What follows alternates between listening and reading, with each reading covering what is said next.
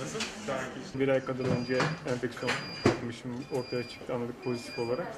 15 gün Eskişehir Yunus Emre Devlet Hastanesi'nde tedavi gördüm. E, tüm sağlık ekibine ayrıca teşekkür etmek isterim. Çok ilgilendiler, çok alakadar oldular sağ olsunlar. E, iki test, son iki test negatif çıkınca plazma bağışı yapmam icap ettiği için geldim. Kendi rızamla bağışımı yaptım. İnşallah bir şeylere vesile olur. Virüsün bu hastalık yani öyle bir sıkıntılı süreçler geçiriyor. Bazı hayat riskler oluşturuyor. İnşallah birilerine faydamız olur. Şiddetle, şiddetle öneriyorum. Herhangi bir işlemden fark yok. Kan bağışından bir fark yok. Arkadaşlar zaten konuya hakimler.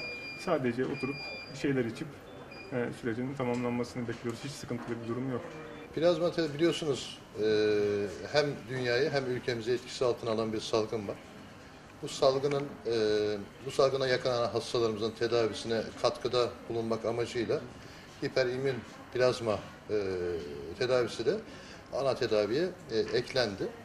E, tabii e, bu plazmayı kimlerden alabiliyoruz? Bu hastalığı geçirmiş, iyileşmiş e, kişilerden e, topluyoruz.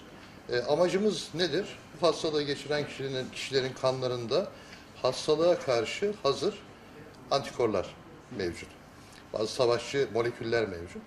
Bu savaşçı molekülleri plazma içerisinde toplayıp şu an tedavi görmekte olan hastalarımızın bu hastalığı yenmesinde e, bir ilave, bir katkı olarak e, sunmaya gayret ediyoruz.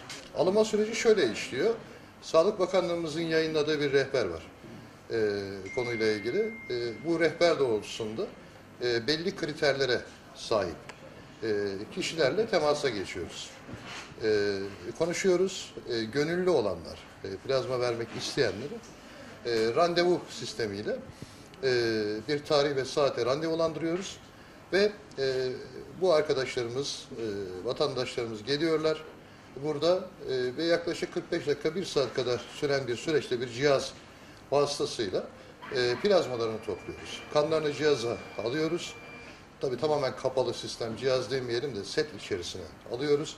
Cihaz e, tamamen kapalı sistemde, steril bir şekilde e, bu kandan plazmayı ayrıştırıyor. Kanın geri kalan kısmına bağışçıya geri veriyor. Yani aslında verilmiş olan şey sadece kanın sıvı kısmı. Yani plazma olan kısmı. Çünkü bizim bu aradığımız antikorlar kanın sıvı kısmı.